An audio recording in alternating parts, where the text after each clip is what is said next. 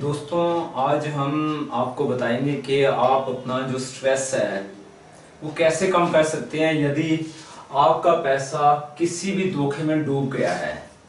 मान लीजिए कि आपकी जेब में 20 लाख रुपए है। कुछ ठगों को यह पता लग गया कि आपकी जेब में 20 लाख है, वो कैसे निकालने चाहिए?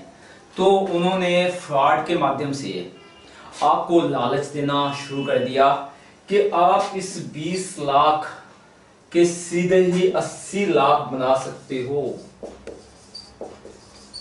तो कोई भी व्यक्ति है, इस फ्रॉड में फंस जाएगा।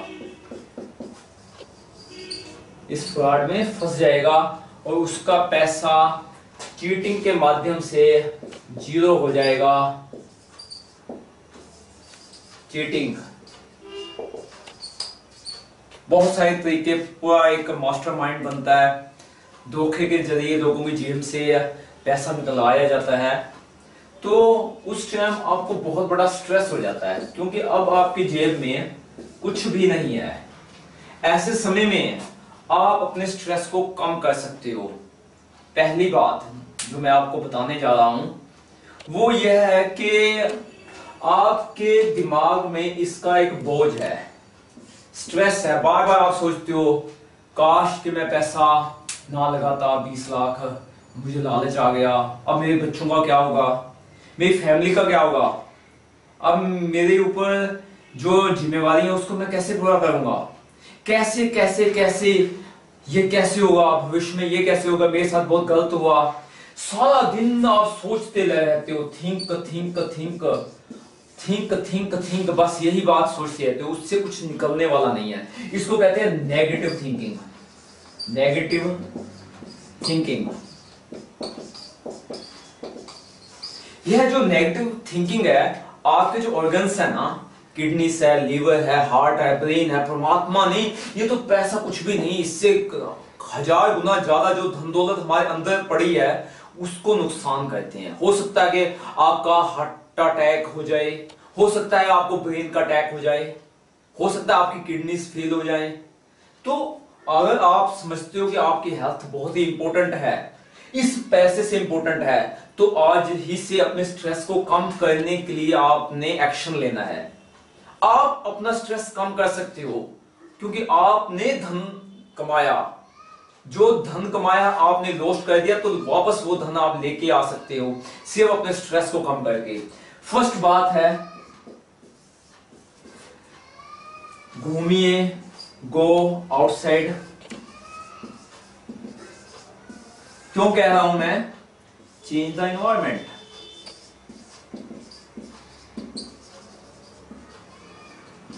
अगर आप कुछ रिफ्रेश मूड में हो, मैं ये नहीं कहता कि बहुत ज़्यादा ट्रिप में आप जाइए क्योंकि आप एट ए टाइम स्ट्रेस में हो, पर घर से बाहर जाइए।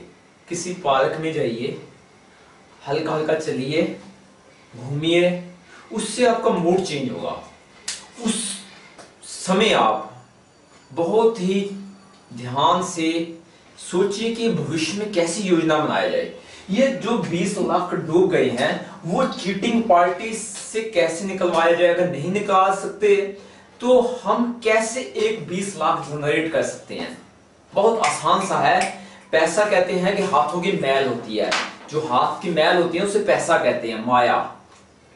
अगर बंदा कोशिश करे तो ये 20 लाख तो कोई भी रकम नहीं है। इंसान जिस चीज़ को हाथ लगाए, वो खरबों रुपए की हो सकती है।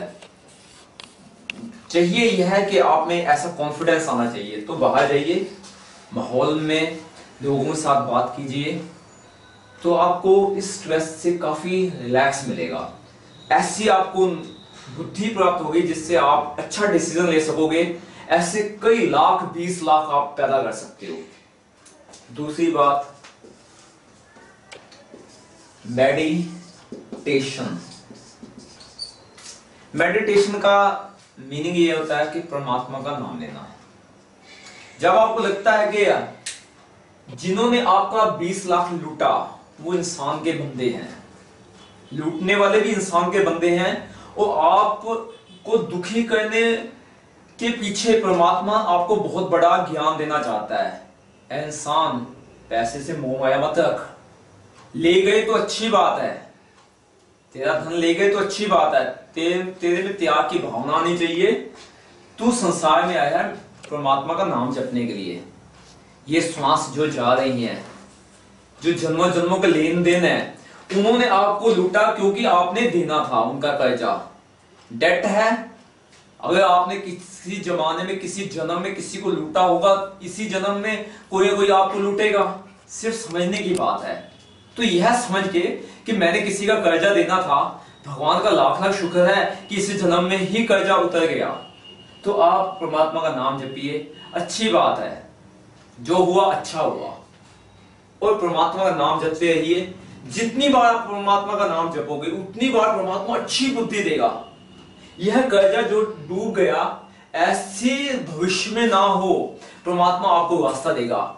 यह बात तो पक्की है कि बंदा एक बार देख के फिर समझ जाता है। तो परमात्मा आपको कह रहा है कि भैया, आपका 20 लाख डूब गया, आप, अब आप समझ जाओ, ऐसे धोखे में मत आप अपने आप को फंसाओ। तो अब क्या है? आप समझ जाओगे परमात्मा के नाम से। तो लोगों को समझाओगे, भैया, इस धोखे में मत आओ। ये धोखेबाज लोग हैं, आपका पैसा डुबा देंगे। ऐसे लाखों लोगों के 20-20 लाख रुपए आप बचा सकते हो। तीसरी बात।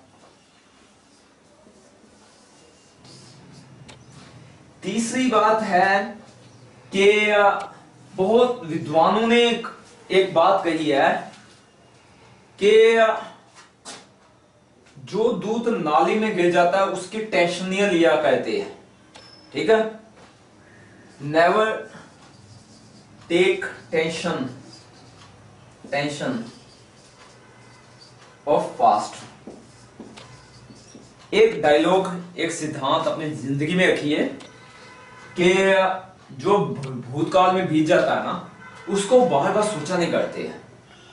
मैं एक दूध लेता हूँ, उसको नाली में फेंक देता हूँ और बार बार सोचता जाता हूँ, सोचता जाता हूँ, उससे क्या है कि मैं मेरे में पागलपन आ जाएगा। मेरा जो दिमाग है, इतना अच्छा सोच सकता है बेस्ट सोच सकता है, वो खून सूख जाता है। इसलिए विद्वान कहते हैं, जो दूध नाली में गिर जाता है, उसके बारे में बार बार नहीं सोचना चाहिए, क्योंकि वो वापस नहीं आ सकता। आपके सोचने से क्या आपका 20 लाख रुपया वापस आ सकता है क्या? बताओ। नहीं आ सकता। तो सोचो मत, जो दूध नाली में चला जाता है, उसके बारे में बार बार नहीं सोचते होते। अब ये सोचो कि 20 लाख कैसे कमाने हैं, भविष्य में कैसे कमाने हैं, और वो पैसा को किसी भी हालत में, ये तो एक साधन है। एक वन स्टेप है मीन एक व्यक्ति ने आपको लूटा है, ऐसे लाखों तरीके हैं, लोग पैसे लूटने के। उनसे लोगों को कैसे बचाना है? अपने जो नई जनरेट करोगे, जो नए पैसे कमाओगे लोगों को पैसे डुबाने से बचाने के लिए खर्च करो। ताकि इतने इतने सेंसर लगाओ इतनी सिक्योरिटी बनाओ कि लोगों के पैसे डूबने से बच जाएँ। यह आपके जीवन का मकसद होना चाहिए। अपना मकसद के लिए अपना भविष्य अच्छा बनाइए आप। तो यह तीन बातें मैं आपको कही कि इन्वायरमेंट चेंज कीजिए गो आउटसाइड जाइए। परमात्मा का नाम लीजिए अच्छा जितना हो सकता है उसका जाप कीजिए। तीसरा, कभी भी पास्ट की टेंशन मत लीजिए। यह सोचकर कि जो दूध नाली में गिर जाता है, वो वापस नहीं आता। इस तरह से अपनी आने वाले समय की योजना बनाइए और एक लक्ष्य बना लीजिए कि अगर आज मेरा पैसा डूबा है तो मैं किसी का पैसा डूबने नहीं दूँगा।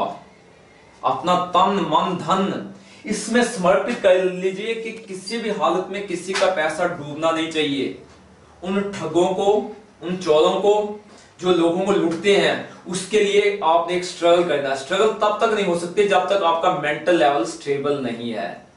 तो अपना मेंटल लेवल स्टेबल कीजिए। आप में बहुत सारी शक्ति है, अच्छे काम में लगाइए। ठगों को पकड़ना, उनको फांसी लगा देना एक अच्छा काम है, उसके लिए आप एकता में आइए। और स्ट्रेस बिल्कुल मत लीजिए, ये आपकी वीकनेस है, ये आपको बीमार कर देगी। जब आप ही बीमार हो जाओगे तो लोगों को स्वस्थ कैसे बना सकते हो? Okay thank you